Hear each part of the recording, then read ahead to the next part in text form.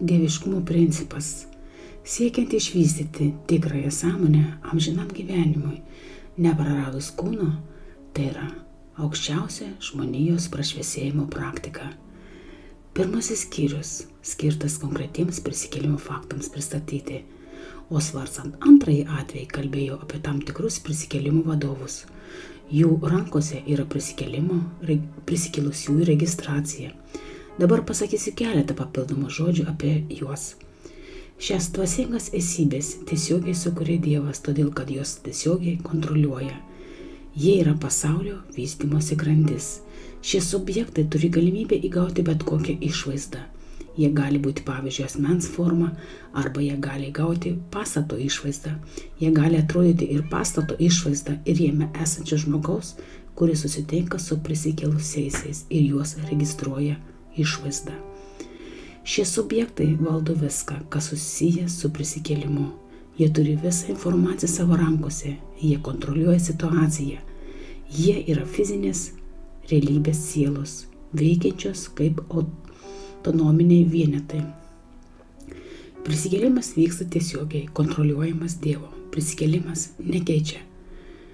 Nekeičiamai perina per Dievą. Verta paminėti, kad sunaikinimo jėgos negali prikelti. Prisikėlimas yra kūrybinių galių privilegija. Antrame skyriuje kalbėjo apie skirtumą tarp prikeltų ir nemirtingų. Taigi dabar galiu pasakyti, kad visų prikelimo, prisikėlimo skirtumo tarp prisikėlusiųjų ir, nemis, ir nemirusiųjų nebebos.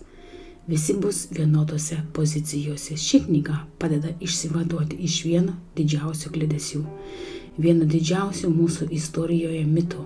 Turiu omeny mitą apie objektyvios fizinės realybės egzistavimą, kuris nepriklauso nuo žmogaus sąmonės. Tokia mintis kontroliuoja tikrąją žmogaus kilmę, atima jo iš jo tikrąją didybę, paneigia jo Dievo apsisprendimą. Iki šiol vis dar yra daugybė kitų metų ir kitų klaidingų nuostatų, trūdančių žmonėms gyventi visavertį gyvenimą.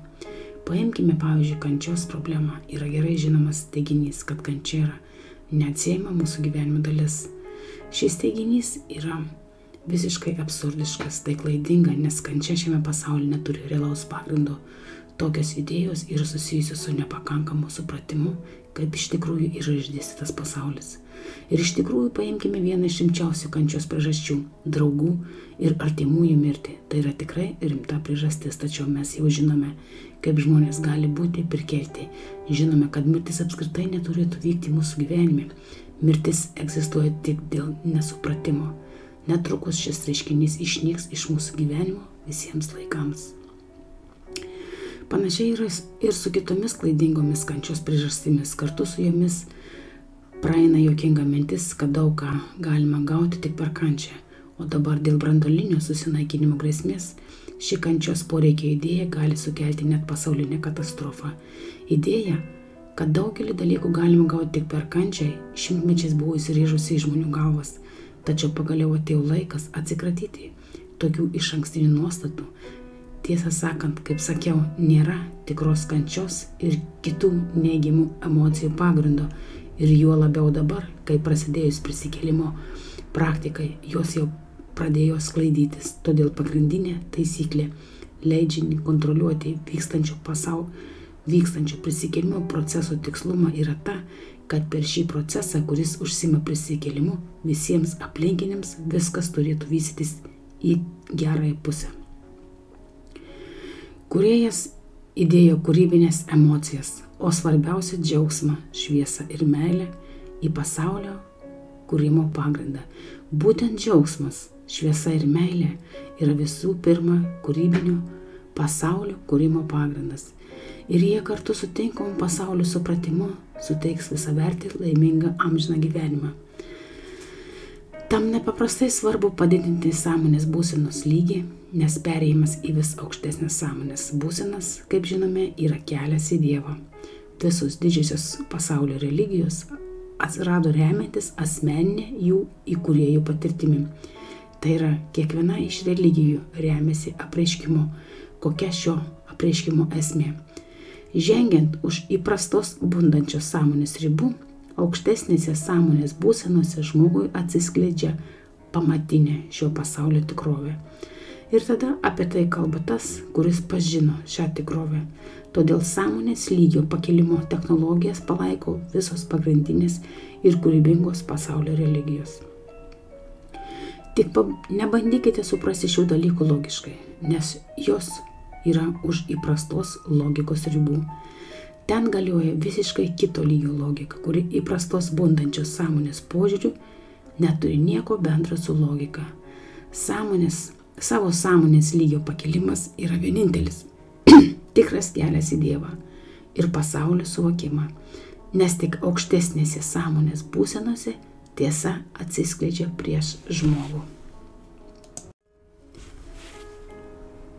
Tiesiogiai kreiptis į Dievą per skaičių seka 11981.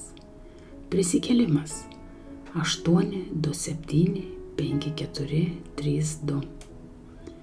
Kūno regeneracija 99886 676 225 88 343 72 Video sudarė Sigutė pagal Igūros Gravojaus mokslo metodiką. Bandykite visi ir visiems pasiseks, nes viskas labai paprasta ir efektyvu. Kai kam gali, galbūt užteks keletą kartų perklausyti šį video ir supratimas ateis visiškai kito kampo. O kam nepavyks, rašykite ir viską išspręsime, padėsime įsisavinti bet kokią technologiją. Ačiū. Informacija paimta iš knygos Žmonių prisikelimas ir amžinas gyvenimas nuo šiol taps realybė. Grigorijai Grabavoje.